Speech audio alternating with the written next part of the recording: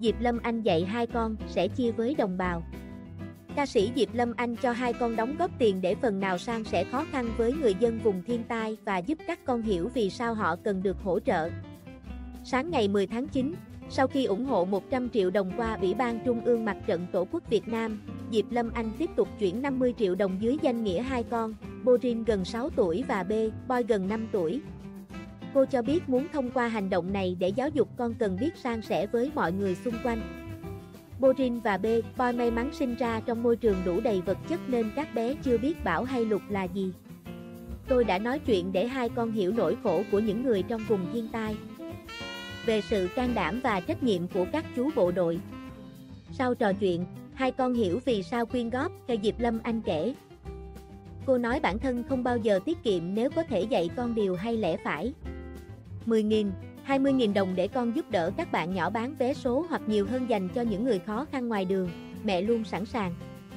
Số tiền đó khi trao đi, các con cũng phải biết ơn người tiếp nhận, chuyển nó tới tận tay những hoàn cảnh khó khăn. Đây không phải từ thiện mà là chia sẻ, yêu thương, là điều mọi đứa trẻ phải có để trưởng thành, Diệp Lâm Anh cho hay.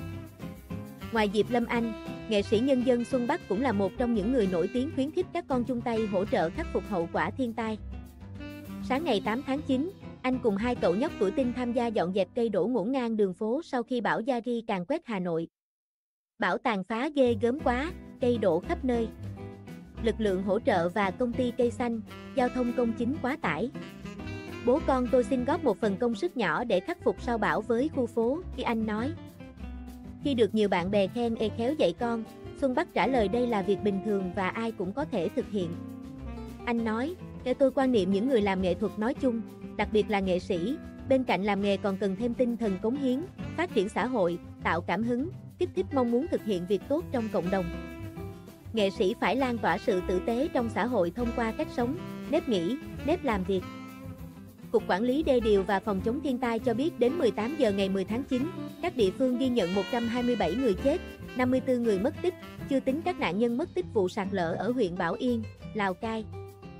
Lào Cai thiệt hại nặng nhất với 38 người chết, 13 người mất tích, Cao Bằng 19 người chết, 36 mất tích, Yên Bái 37 người chết, mất tích, Quảng Ninh 9 người chết, Hòa Bình, Hà Nội mỗi nơi 4 người chết, Hải Phòng, Lạng Sơn, Tuyên Quang, Hà Giang mỗi nơi 2 người chết. Bão Yari đổ bộ Quảng Ninh với sức gió gây chưa từng có.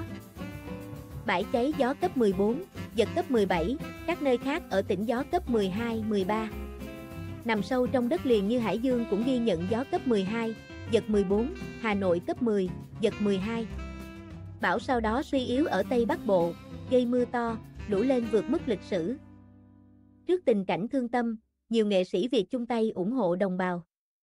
Danh sách người nổi tiếng quyên góp tiền và nhu yếu phẩm tăng lên nhanh chóng, trong đó có Hoa hậu Phương Lê, Kỳ Duyên, Thùy Tiên, ca sĩ Tùng Dương, Mỹ Tâm, Tóc Tiên, Trung Quân, nhóm Lunas, diễn viên Việt Hương, MiJu, nhà thiết kế Đỗ Mạnh Cường, MC Đại Nghĩa, siêu mẫu Thanh Hằng, vợ chồng Lý Hải, Minh Hà. Các bạn hãy đăng ký kênh để cập nhật thông tin miễn phí mới nhất.